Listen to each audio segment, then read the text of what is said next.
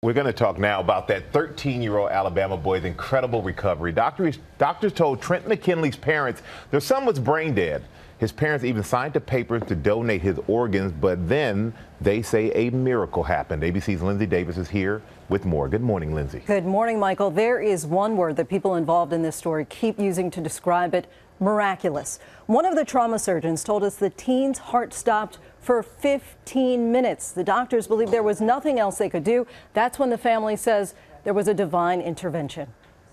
This morning, an incredible ordeal turned astounding turnaround for an Alabama boy thought to be dead, now back from the brink. The 13 year old suffered a devastating injury back in March while playing at a friend's house.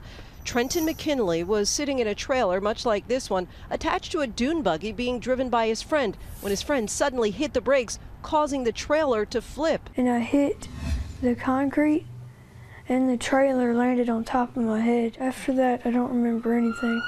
After being rushed to the hospital, doctors delivered horrible news to the teen's parents.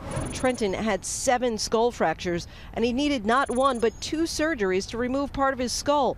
Expected to never make a recovery, Trenton was declared brain dead. He was dead a total of 15 minutes.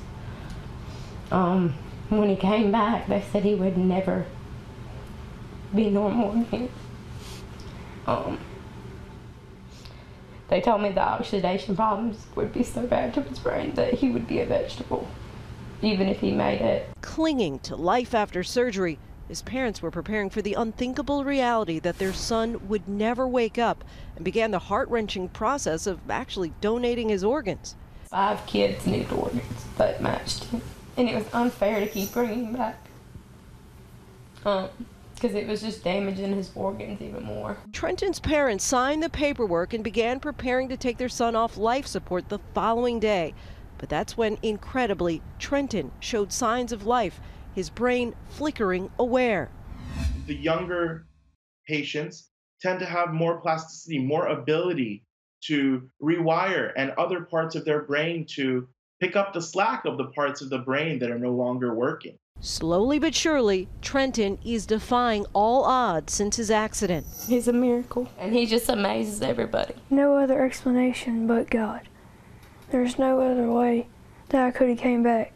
Even the doctor said. Trenton is now home, and clearly one thing that's still intact is his sense of humor. I thought I could turn my, my head sideways and put salsa in there and eat chips and dip out of my head. You're a man. No more washing dishes for me.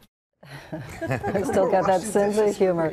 Uh, the hospital says that Trenton arrived on March 9th and began to show signs of cognition within the next 48 to 72 hours. And you heard Trenton say there is no explanation, no other explanation. but God. And he said that even the doctors told him that. So. I know.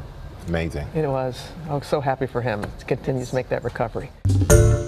Hi, everyone. George Stephanopoulos here. Thanks for checking out the ABC News YouTube channel. If you'd like to get more videos, show highlights, and watch live event coverage, click on the right over here to subscribe to our channel. And don't forget to download the ABC News app for breaking news alerts. Thanks for watching.